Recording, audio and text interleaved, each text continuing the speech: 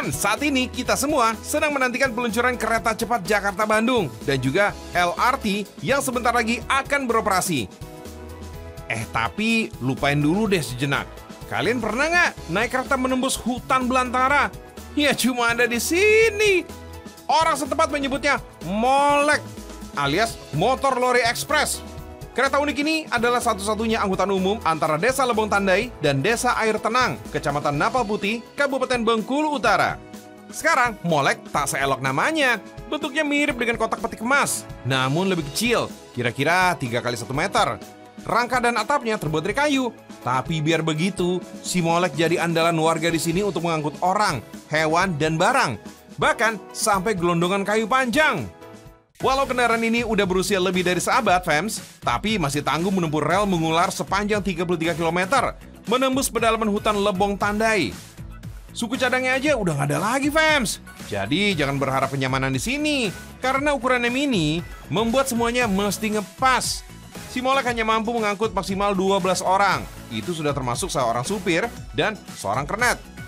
Ini hebatnya si Molek nih. Sopirnya tidak di depan, tapi di tengah. Mungkin cuma molek aja begini nih. Unik banget kan, fans? Yuk deh, kapan-kapan cobain naik lori ini ya. Dijamin seru. Fams, ini bukan ojek online ya. Bukan. Ini namanya ojek palang. Unik banget ya bentuknya. Biar kelihatannya sederhana, tapi ojek palang ini bisa memuat hingga lebih dari 10 orang sekali jalan. Wadaw! Ya, bisa dibilang ini adalah karya orang Indonesia yang mencoba mengatasi keterbatasan infrastruktur dan pengangkutan di daerahnya. Atau bisa juga dibilang nyeleneh sih. Hehehe. Ya gimana enggak? Tuh lihat aja.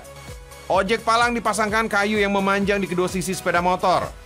Kendaraan yang sudah diubah tersebut bisa mengangkut banyak penumpang yang kesulitan untuk menembus jalur perkampungan di gunung. Dengan daya tampung yang besar, ojek palang ini dianggap mampu membantu mobilitas masyarakat di desa yang masih belum banyak dilalui kendaraan roda 4. Ya, mengingat karena lokasinya yang terjal dan berada di leweng alias perbukitan.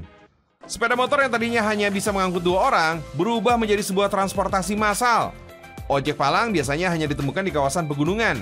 Di daerah Tasikmalaya, Jawa Barat, ojek palang cukup mudah ditemukan.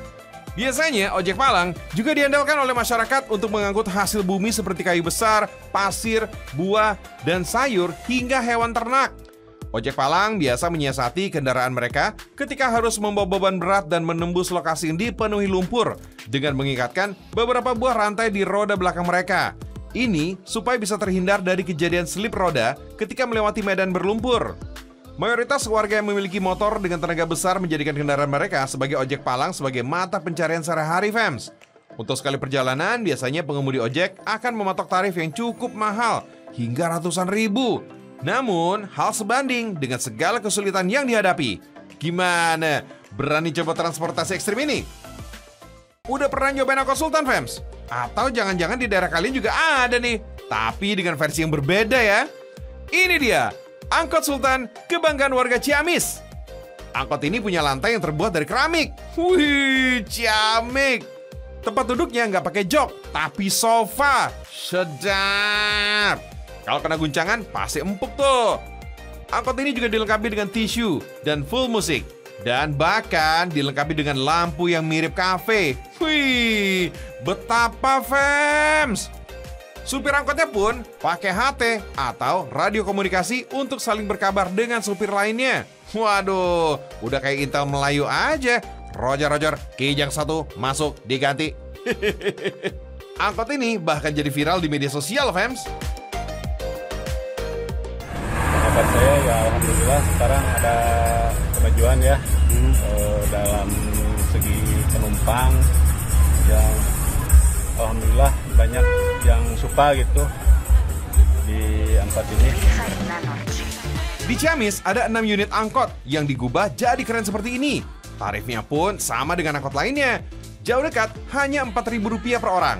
Wah, dengan bayarannya sekadarnya bisa dapat fasilitas wah di dalam angkot sekelas ini. Benar-benar memanjakan penumpang ya. Kalau di tempat kamu, fans, ada juga nggak yang keren kayak gini? Kalau ada, kabarin tim beragam Indonesia ya.